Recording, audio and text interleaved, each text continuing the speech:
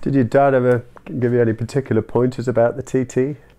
When I came to the Manx Grand Prix, you know, Dad was real good at that time because Dad was 125s, spent a lot of years in 125s, probably after his crash in 94.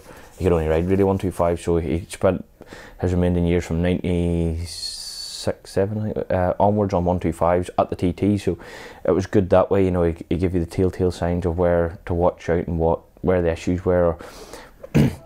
obviously with two strokes, you know, it's, it was very hard to keep them going, and he'd let you know the hardest places to be, you know, and uh, that was the big thing, you know. Obviously, when I started riding big bikes, it started to, it related the same too, but obviously the big bike was a bit different. And my dad was real good at his big bike, so he knew where his lines would be. But um, it had been that long since when I had rode the big bike in two thousand and seven.